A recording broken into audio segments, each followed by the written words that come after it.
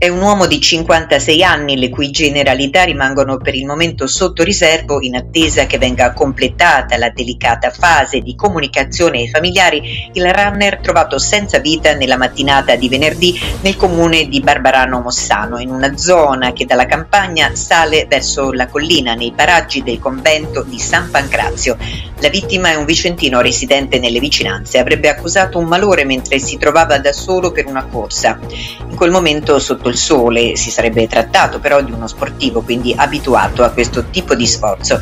I soccorsi sono scattati dopo l'avviso al 118 dato da un passante che ha notato un corpo riverso a terra sul ciglio della strada, tentando di prestare aiuto in prima persona.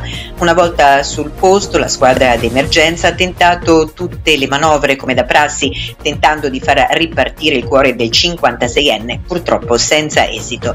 Sul posto una pattuglia dei carabinieri.